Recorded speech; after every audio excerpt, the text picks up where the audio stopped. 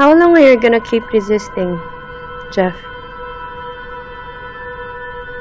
Alam mo, pwede na nating i-end tong suffering mo ngayon. Just promise me na hindi mo i-reveal na ikaw ang tatay ni Junior.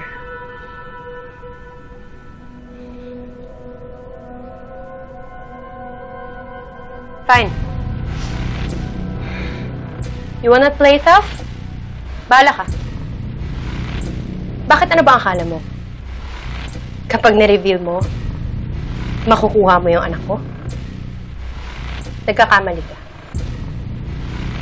Dahil kapag hindi mo sinunod ang gusto ko, ilalayo ko sa'yo si Junior. At hindi mo na siya makikita kahit kailan.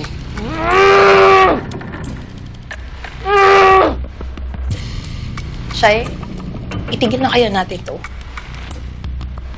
Hindi ko alam kung kaya ko pa itong pagpatuloy eh. Kinakabahan na ako. Paano kung... Paano kung may makita sa akin na pumupusit dito? Problema ba yun, Leslie?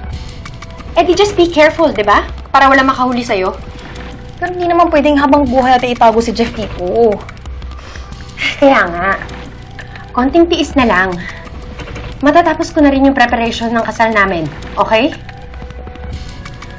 Pagka kinasal na kaming dalawa ni Jordan, ako na mismong maghahanap ng permanenteng solusyon dito sa problema na to. Shay, anong pinalano mo? Mas mabuti nang wala kang alam.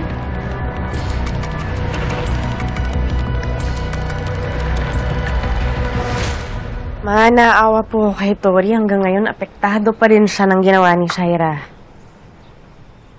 Alam mo, kumukulo ang dugo ko dahil sa babae niyan, ha?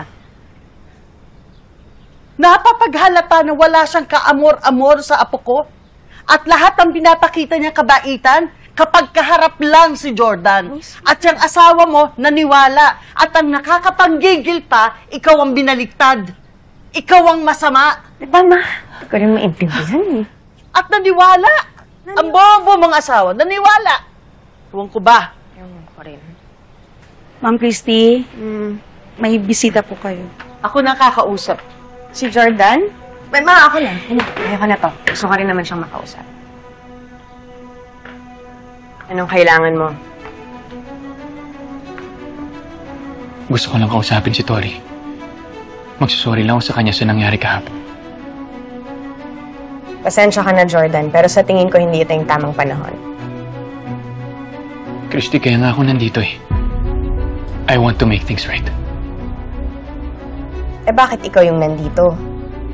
Bakit di mo dinala yung magaling mong fiancé? Siya humingi ng tawad kay Tori. Ah, kasi nga pala, pakiramdam niya wala siyang kasalanan. Na siya yung victim, di ba? Tama ba ako? Please, huwag na tayo magsisihan. Christy, malapit na ang kasal namin. Baka pwede na nating ayusin ito ngayon.